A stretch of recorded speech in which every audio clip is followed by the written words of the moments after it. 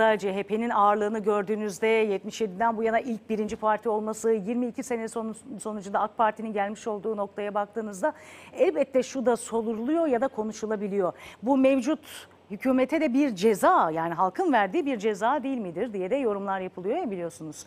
Şimdi bir yandan bu peki güvensizlik oyu olarak yorumlanabilir mi? Şimdi az evvel e, Ömer Çelik'e sorulduğunda erken seçim istemek mantıklı bir çağrı değildir. 5 yıllık zaten yetkisi vardır hükümette görevinin başındadır diyor. Hatırlayın MHP lideri Devlet Bahçeli de aslında benzer bir açıklamayı yapmıştı.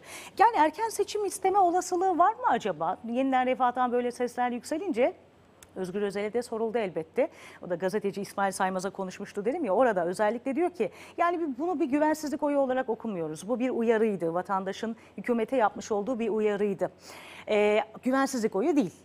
Eğer ben erken seçim çıkıp da bu güvensizlik oyudur erken seçim olsun dersem o zaman bana inanmış olan AK Partili MHP'li kardeşlerimizle vatandaşlarımıza da haksızlık yapmış olurum diye okuyor. Böyle yorumluyor. O yüzden ben böyle bir şey istemeyeceğim diyor ama halk isterse halk karar verecektir buna diyor. İşte orası önemli elbette. Onun dışında işte Mayıs ayındaki özellikle Cumhurbaşkanlığı seçimleri birinci ikinci tur ve o süreçte yaşananlar biz hatalarımızdan ders çıkardık söylemi de dikkat çekici. Meral Akşener'le ilgili de abla sözüne dair de eklediği notlar var. Bir bakalım ne diyor?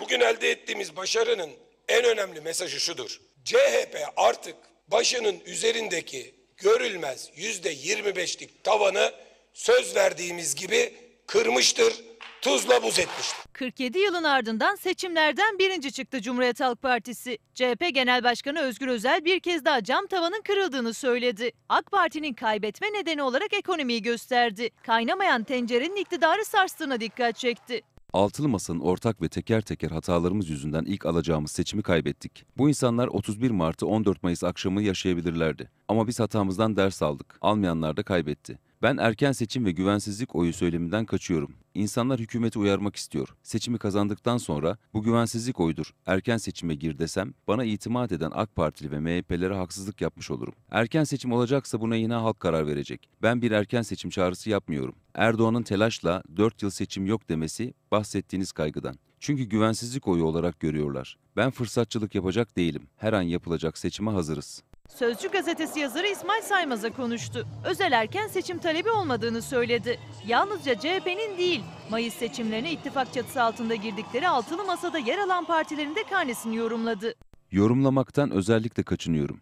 Çünkü yapacağım her tespit birilerini incitebilir. Bana ablam demeyin dediklerinde ben kavga etmem, ablamdır dedim. Aldığımız her oyun CHP değil Türkiye İttifakı oyu olduğunu farkındayım. Siyasilerin kurmadığı ittifakı sandıktan seçmenle kurmayı başardık. Siyasiler siyasi hesap yaptılar. Oysa seçmen kendisini ve ülkesini düşündü. Bir de devletle millet ne zaman yarışsa hep millet kazanır. CHP bazen yanlış tarafta durdu. Bu sefer devletle millet yarışırken milletin tarafındaydık.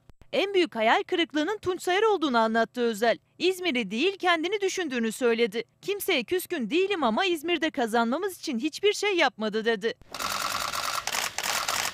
Sonuçları tek başına %38 benim oyum dersem kibir olur sözleriyle değerlendirdi. Türkiye İttifakı vurgusu yaptı. Özel sahada olmaya devam edeceğini söyledi. Önümüzdeki günlerde emekliler, atanmayan öğretmenler, emekli astsubaylar, staj mağdurları, çiftçiler ve öğrencilerle ilgili mitingler yapacaklarını anlattı.